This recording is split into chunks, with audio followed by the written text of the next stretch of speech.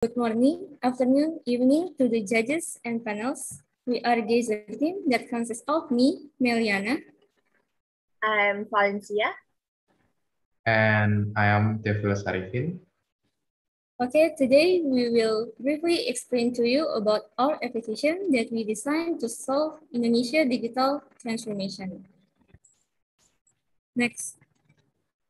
First of all, I'd like to give you an overview of the main problems that are slowing down Indonesia digital transformation. The answer is Kota Kerja. Kota Kerja will be the solution for freelancer.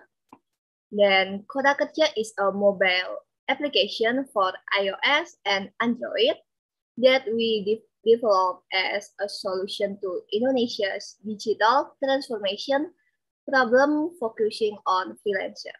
And Kerja is a forum or ecosystem for freelancers and customers issues. Next, we will explain about feature in Kota Kerja as you can see from the slide.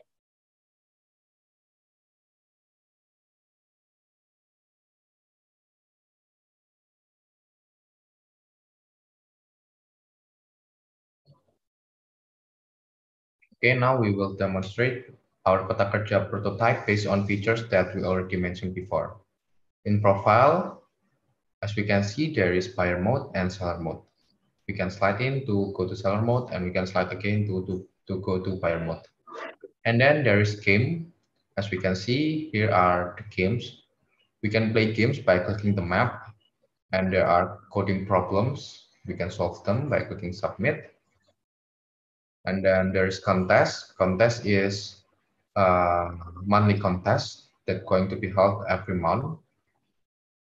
You can click see details to see the winners. In home, there, there are feeds, stories, forum, and articles.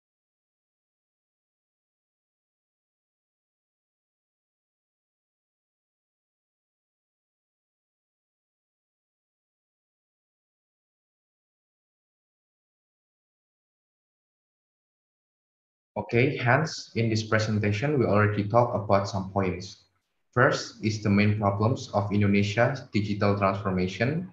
And then second, how Kota Kerja can give a solution towards the problem by its features. And then the third, we already explained about UI and UX in Kota Kerja mobile apps. That's all for our presentation.